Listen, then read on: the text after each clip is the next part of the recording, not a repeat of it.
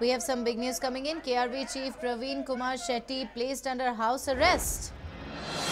Praveen Kumar Shetty placed under house arrest in RT Nagar. Shetty put under house arrest following instructions from top cops. Praveen Shetty was not allowed to take morning stroll. Big news coming in at this point of time. For all the viewers who have just joined in, Praveen Kumar Shetty, the KRV chief, has been put under house arrest